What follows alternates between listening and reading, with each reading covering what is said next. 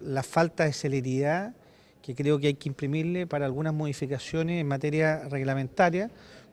que particularmente dice relación con el registro de contratistas del ejército, particularmente con el ingreso de los contratistas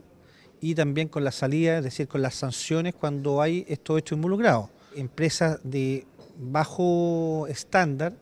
puedan ser parte de este registro contratista. Yo creo que hay, que hay que modificarlo, hay que poner mayores requisitos para que sean empresas realmente serias que presten el servicio al ejército, que es fundamental para la defensa nacional. Y segundo, cuando estén involucradas estas empresas en este tipo de situaciones, entregando facturas falsas o también entregando facturas por trabajo no hecho, tienen que ser excluidos inmediatamente de cualquier registro. Y nos parece eh, un contrasentido que empresas que están siendo investigadas